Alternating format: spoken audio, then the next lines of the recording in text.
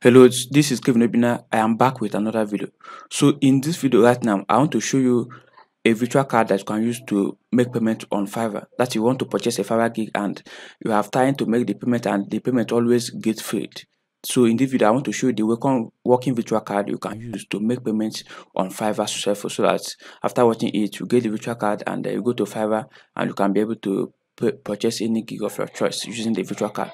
So this virtual card is from gray.co as you can see on the screen just go to www.gray.co and you load the website. As you can see it here. After you load, load the website you click on get started for free. You create a free account you verify your id after verifying your id then you can then load money inside your, uh, your Grey Naira wallet and uh, from there you can click on virtual cards. You can see virtual cards here. Once you click on virtual cards you get a virtual card and uh, this is the virtual card that I have now. You can see the card number the CVV the expiring date. You go to Fiverr and you select the key you want to purchase and uh, fill in the card details and make payment successful.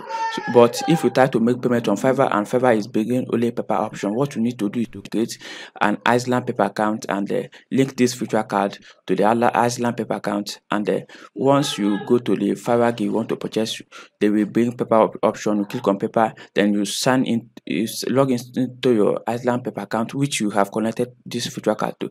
And then you make payment so the money will be deducted from this virtual card and it works. So try this method and let me know if if it works for you down in the comment section below. And don't forget to give this video a like and subscribe to my channel for more videos on, on how to make money online and uh, more videos uh, that will show you a easy method to make payment online on different websites.